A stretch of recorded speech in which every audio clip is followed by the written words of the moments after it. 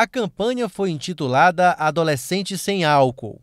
O Ministério Público do Piauí resolveu agir rigorosamente conforme o artigo 18 do Estatuto da Criança e do Adolescente, onde proíbe a comercialização de bebidas alcoólicas nesse segmento. Foi constatado que o consumo de álcool aumentou entre menores de idade e o uso é considerado devastador pelos especialistas relatos do, do, do, da própria reportagem do HUT, nós verificamos que o índice é muito alto em relação ao uso dos acidentados com o uso do, utilizando o álcool.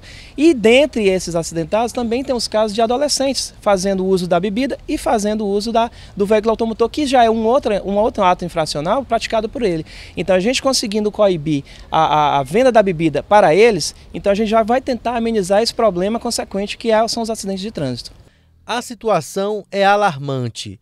Dados revelam que 8 em cada 10 jovens bebem regularmente e 80% deles experimentaram álcool antes dos 18 anos. Os conselhos tutelares vão trabalhar em conjunto nessa campanha, identificando os pontos críticos e encaminhando as denúncias ao Ministério Público. Nós vamos receber as denúncias, vamos constatar, e aí, uma vez constatado, a gente faz um auto de constatação, encaminha ao Ministério Público pedindo providência.